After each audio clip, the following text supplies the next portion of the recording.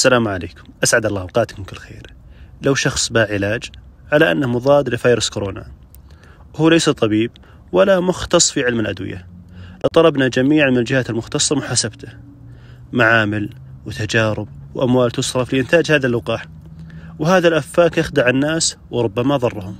حال هذا مثل واحد ما يملك أدنى علم بالحديث ولا قرأ كتاب البخاري ولا يعرف حتى اسمه. ولا يحفظ عشر أحاديث مع الراوي ثم يطعن في صحيح البخاري الذي هو أصح كتاب بعد كتاب الله عز وجل. صحيح البخاري ليس من تأليف البخاري بل هو جمع للأحاديث الصحيحة عن النبي عليه الصلاة والسلام. فما يطعن في صحيح البخاري إلا جاهل أو حاقد. والهدف هو الطعن بالسنة. إذا تتهم وتشكك في أصح كتاب للسنة فكيف حال بقية كتب السنة؟ حديثنا اليوم عن أمير المحدثين. إمام ارتبط اسمه بالحديث. وعلم يعرفه كل مسلم. هو محمد بن إسماعيل البخاري في الأصل غير عربي لكن المؤمنون إخوة والميزان بالتقوى. ولد البخاري عام 194 هجري في بخارى وهي جمهورية أوزبكستان اليوم. من والدين صالحين. توفي أبوه وهو صغير وعاش اليتم في صباه. لكن والده ترك له مالا وقال عند وفاته لا أعلم في مالي درهما من حرام ولا شبهة. كان حتى الشبهة يجتنبها. فلا عجب أن يكون نتاج هذه العفة صلاح الذرية. نشأ البخاري في حجر أمه الصالحة وانطلق في حلق العلم ومن ورائه أمه تدعو له وتوجهه. فحفظ القرآن وحفظ سبعين ألف حديث سردا وهو صبي. رزق الله البخاري قدرة في الحفظ فائقة. كان ينظر في الكتاب مرة واحدة فيحفظ من نظرة واحدة.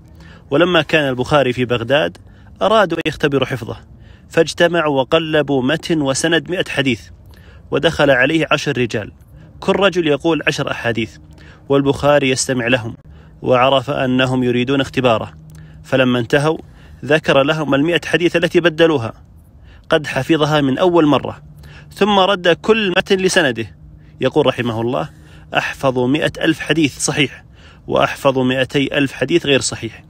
تنقل رحمه الله في طلب العلم.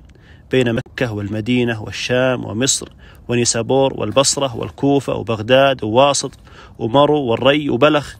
قطع راكبا وماشيا أكثر من 14 ألف كيلو متر فلا يستغرب قول البخاري رحمه الله قبل موته بشهر كتبت عن ألف وثمانين نفسا صنف البخاري ما يزيد عن عشرين مصنفا منها الجامع الصحيح والأدب المفرد والتاريخ الكبير والتاريخ الصغير. وصحيح البخاري هو أشهر كتب البخاري. بل هو أشهر كتب الحديث النبوي قاطبة. بذل فيه جهدا خارقا. مكث في جمعه وترتيبه وتبويبه ستة عشر عاما. يذكر البخاري السبب الذي جعله يقوم بهذا العمل الكبير. فيقول كنت عند إسحاق بن رهويه فقال لو جمعتم كتابا مختصرا لصحيح سنة رسول الله صلى الله عليه وسلم فوقع ذلك في قلبي فأخذت في جمع الجامع الصحيح. كلمة من مرب أنتجت مشروعا. يكفي بالرهويه أن يشارك البخاري في أجر الصحيح وهو لم يعمل عليه فقط أعطاه الفكرة. عدد الأحاديث التي في صحيح البخاري 7275 حديث.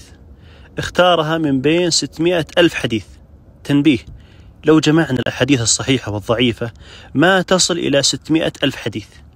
ليس المقصود كل حديث مختلف عن الآخر. أوضح بمثال قال النبي عليه الصلاة والسلام حديثا ما فسمعوا خمسة من الصحابة. وكل صحابي من الخمسة نقل الحديث للتابعين فأصبح لهذا الحديث خمس طرق.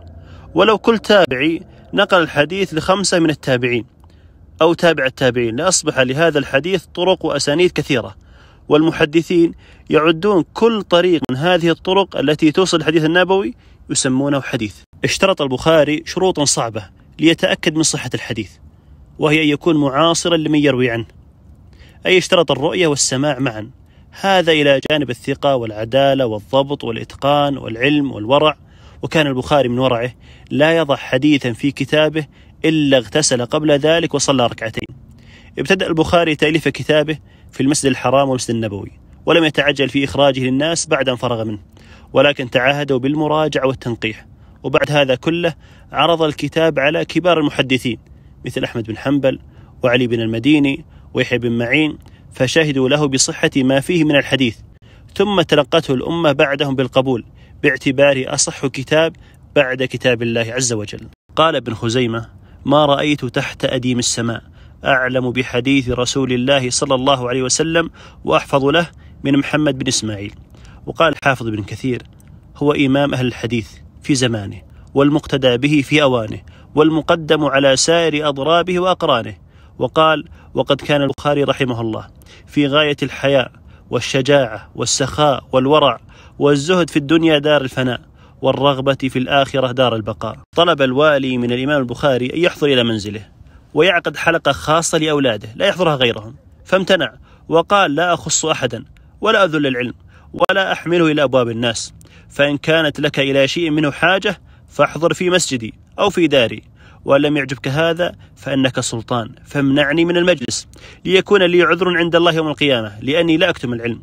فغضب عليه الوالي واستعان بخصومه حتى تكلموا في مذهبه ونفي من بلده. ابتلي البخاري في حياته بابتلاءات شتى بعضها من أقرانه وبعضها من الولاة وكان في كلها عف اللسان. فلم يحفظ عنه أنه تجنى على أحد من خصومه لا بقول ولا بفعل. فمن حوى السنة في صدره حري به يمتثلها. يقول رحمه الله أرجو أن ألقى الله ولا يحاسبني أني اغتبت أحدا. ما كان يقول فلان كذاب أو مدلس ولكن كان يكسو ألفاظه فيقول فلان سكتوا عنه وفلان فيه نظر.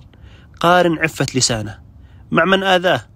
بل مع صنعته الجرح والتعديل شتان بينه وبين من سلط لسانه في أذية عباد الله. مات البخاري ولم يخلف ولدا ذكرا ولكنه خلف كتابا عن آلاف الأبناء.